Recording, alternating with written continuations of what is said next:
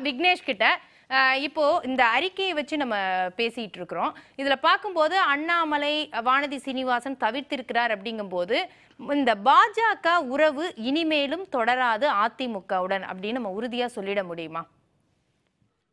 Madam அண்ணாமலையை தவிர்த்து விட்டு இன்னைக்கு தேதியில வந்து அரசியல் செய்ய முடியாது அதுக்கு சாட்சின்னு வந்து பாத்தீங்கன்னா இந்த விவாதம் தான் சாட்சி.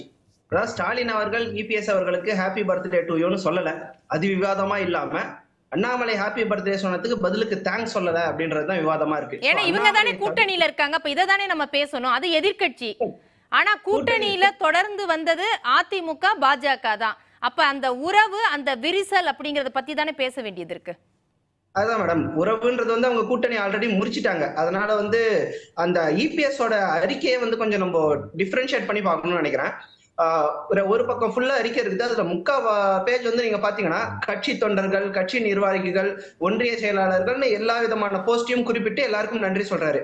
அடுத்து கூட்டணி கட்சி தலைவர்கள் எக்ஸாம்பிளுக்கு ஒரு பிரேமலதா அப்படின்ற ஒரு பேரையும் ஜாயின் பண்ணிட்டு நெக்ஸ்ட் பாத்தீங்கன்னா கூட்டணியிலேயே இருக்கக்கூடிய எஸ்டிபிஐ வந்து அவங்க மென்ஷன் பண்ணல.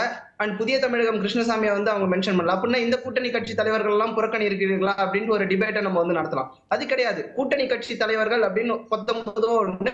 அது முக்கியமான கூட்டணி கட்சி தலைவராக பிரேமலதா அவர்கள் பெயர். நெக்ஸ்ட் திரையுலகினர். அதுல வந்து திரையுலகிலிருந்து அரசியல் வரக்கூடிய விஜய் அவர்களுடைய பெயர். இதர கட்சி தலைவர்கள் அப்படின்றதையும் அது மென்ஷன் பண்றாரு. சோ ஒவ்வொரு பேரா அவர் மென்ஷன் பண்ணார்னா அவர் எனக்கு தெரிஞ்ச ஒரு முப்பது முப்பத்தஞ்சு பக்கம் அறிக்கையை வந்து கொடுக்க வேண்டியிருந்திருக்கும். ஷார்ட்டா முடிக்கணுன்றதுக்காக ஒவ்வொரு இடத்துலயும் ஒரு எக்ஸாம்பிள் வந்து கொடுத்துட்டாங்க. இல்ல அதுதான்.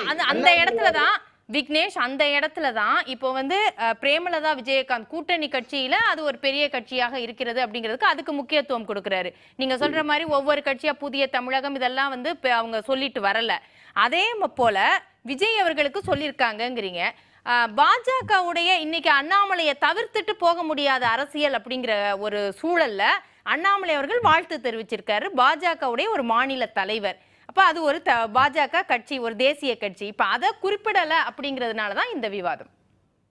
இல்ல அது குறிப்பிடல அப்படின்னும் போது நான் சொல்றது இந்த அண்ணாமலையை தவிர்க்கிறார் அப்படின்னு இபிஎஸ் நினைச்சா தவிர்த்து விட்டு அரசியல் செய்யலாம்னு இபிஎஸ் நினைச்சா அது ஒரு சாத்தியம் இல்லாத ஒரு அரசியலாக தான் இருக்கும் அப்படின்றது என்னுடைய அஹ், கருத்து. ஆக்சுவலா இபிஎஸ் அவர்கள் ஒவ்வொரு தலைவரையும் மென்ஷன் பண்ணியிருந்தா நான் சொல்ற மாதிரி ஏற்கனவே முப்பது முப்பத்தஞ்சு பக்கத்துக்கு அவர் மென்ஷன் பண்ணிருக்கணும் அது தேவையில்லை. சுருக்கமாக முக்கியமாக கட்சி தொண்டர்களுக்கு மிக முக்கியமான ஒரு முக்கியத்துவம் கொடுக்கணும் அப்படின்னு நினைக்கிறேன் ஏற்கனவே இபிஎஸ் சைடு ஓபிஎஸ் சைடு அப்படின்னு பிரிச்சிருக்கும் போது கட்சி தொண்டர்களுக்கு ஒரு உற்சாகம் கொடுப்பதற்காக பெரிய அந்த பேஜ்ல வந்து முக்கா பேஜ் வந்து பாத்தீங்கன்னா கட்சி தொண்டர்களுக்காக தான் அவர் இம்பார்ட்டன்ஸ் வந்து கொடுத்திருக்காரு. மத்தவங்களுக்கெல்லாம் ஒவ்வொரு லைன் தான் கொடுத்திருக்காரு. அதனால நம்ம ஏற்கனவே சொன்ன மாதிரி கூட்டணி கட்சியிலேயே ரெண்டு கூட்டணி கட்சி வரும். இருக்கிறதே மூணு கட்சி தான். கூட்டணியா வந்து பாத்தீங்கன்னா அதுல ரெண்டு கட்சி பேரை வந்து அவர் மென்ஷன் பண்ணல அப்படின்னும் போது நியாயமாக அதுதான் ஒரு விவாதமாக இருக்க வேண்டும். அண்ணாமலையை தவிர்த்து விட்டதாக அவர் நினைத்து கொண்டிருந்தாலும் தவிர்க்க முடியாது. காரணம் என்னன்னா மக்கள் மனதை பிரதிபலிக்கின்ற ஊடகங்கள் கூட அண்ணாமலையை ஏன் தவிர்த்தார் அப்படின்றதுதான் அது ஒரு தலைப்பாக இருக்கிறதே தவிர மற்றவர்கள் பற்றிய தலைப்பு கிடையாது. அதனாலதான் சொல்றேன் பாஜகவிடம் இருந்து அவர்கள் பிரிந்தாலும் அவர்களுடைய அரசியல் பாஜகவை சுற்றியதான் அமையும் அப்படின்றதுதான் நிதர்சனம். அது யாருக்கு சாதகமா இருக்கும் யாருக்கு பாதகமா இருக்கும்? ஏன்னா அதிமுகவுடன் அதிமுக பாஜக பாஜகவுடன் வேண்டான்னு நினைக்கிறாங்க. எங்களுக்கு சிறுபான்மையினுடைய வாக்குகள் போகும் அப்படிங்கிற முடிவுக்கு வர்றாங்க. இரண்டாயிரத்தி இருபத்தி ஆறுல கூட நாங்க கூட்டணி வைக்க மாட்டோம்னு உறுதியா இருக்கிறாங்க. அப்படி இருக்கும்போது திரும்ப திரும்ப அதிமுக பாஜக இத சேர்த்து சேர்த்து பேசுறது யாரு? பாஜக தரப்புல இருந்து இந்த விஷயம் பேசப்படுதா? அல்லது திமுக தரப்புல இருந்து கிளப்பி விடப்படுதா? ஆக்சுவலா வந்து மேடம் திமுக வந்து டூ தௌசண்ட் நைன்டீன்ல ஒரு ஃபார்முலா வந்து கொண்டாங்க கொண்டு வந்தாங்க. பிஜேபி அகேன்ஸ்டா பேசினா வந்து எல்லா ஓட்டும் நம்மளுக்கு கன்சால்டேட் ஆகும் அப்படின்ற மாதிரி ஒரு ஃபார்முலா அது வெற்றி ஃபார்முலாவா இருந்துச்சு.